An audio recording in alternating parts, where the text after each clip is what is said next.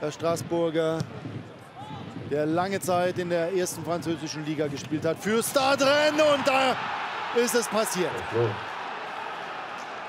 Was für ein Gewaltschuss von, ich glaube, es war Florian Dick.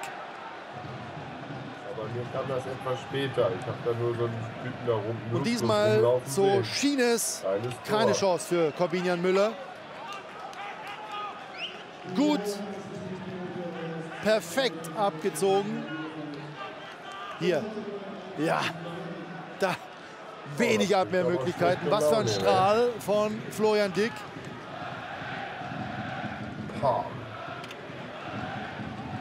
Ganz schwer zu sehen für Corbinian Müller.